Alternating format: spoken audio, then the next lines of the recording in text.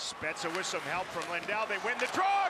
Rebound off of that deflection of Janmark. In front, Stars go back to work again. They score! Flick of the wrist from John Klingberg.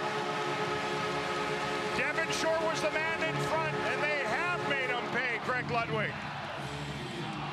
Well, that's that's always part of the equation when a team wants to play like that. You've got to make them pay for that. Starts right off of a face-off. Good second effort and help here on the point. The first one's a tip-in opportunity by Janmark. Terry makes that save.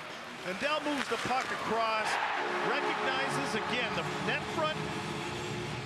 Devin Shore standing in front. He may have got a piece of that. But that nice little shot right